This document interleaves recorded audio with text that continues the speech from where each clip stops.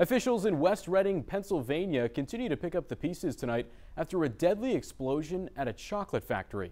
Three people died at the RM Palmer Company. Late Saturday, four people were still unaccounted for. The blast destroyed a building and damaged another. The search for survivors is still underway. During the overnight recovery efforts, one person was located alive, and rescue workers continue to search for any other possible survivors. The discovery of life overnight of the overnight recovery efforts provides hope that others still may be found. Officials have not yet said what caused the explosion.